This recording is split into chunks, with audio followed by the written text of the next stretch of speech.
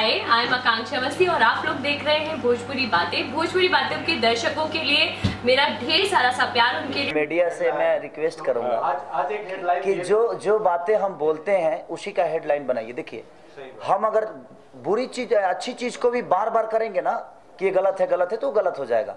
तो आप भोजपुरी समाज से हैं आप भी उस मिट्टी से हैं तो भोजपुरी को अश्लील बोल बोल के कुछ मीडिया के लोगों ने अश्लील बना दिया है। मेरा कहने का मतलब कहाँ अश्लील नहीं होता है? बताइए। चोली के पीछे भोजपुरी में नहीं होता है हिंदी में भी होता है।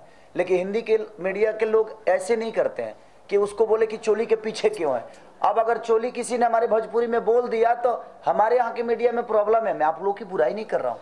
कुछ लोगों की बात लेकिन पॉजिटिविटी को उसको लेकर के हाँ, आप लोगों को अगर आप लोग आप लोग उसको गलत तरीके से हेडलाइन बनाएँगे ना तो दुनिया ऐसा नहीं देखिए यूट्यूब के चैनल के सब्सक्राइबर बढ़ जाने से भोजपुरी का भला नहीं होने वाला है। आप अपने फ़ायदे के लिए हेडलाइन को गड़बड़ मत करिए।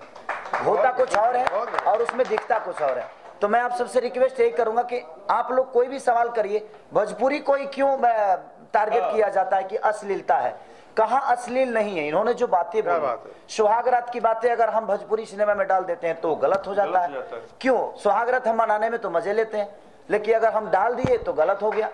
इसके लिए मैं कहना चाहता हूँ कि आप लोग का जो हेडलाइन कुछ लोगों का जो हेडलाइन हो रहा है उसको बिल्कुल क्लियर करिए। उसमें मैटर कुछ और होता है और उसमें हेडलाइन जो होती है। वो बड़ी खतरनाक होती है। तो इसलिए मैं आप सबसे अपील करूँगा कि भोजपुरी को अश्लील बोल बोल के मत करिए। डर लगता है अभी हाँ, इसीलिए। पर आप लोग इंटरव्यू देते हुए भी डर लगता है कि पता नहीं कौन सा लाइन काट के कौन सा लाइन काट के और कहाँ चिप दिया जाए केकरा संगे बात कही कदी बोलत बेल तू आ ओके साइड से ओकरा बाद हई बोलने हाँ चाहे हई बोलली है ओकरा बाद केकर बोली आई ना? बस यही प्रॉब्लम नहीं सर नहीं जी जी जी।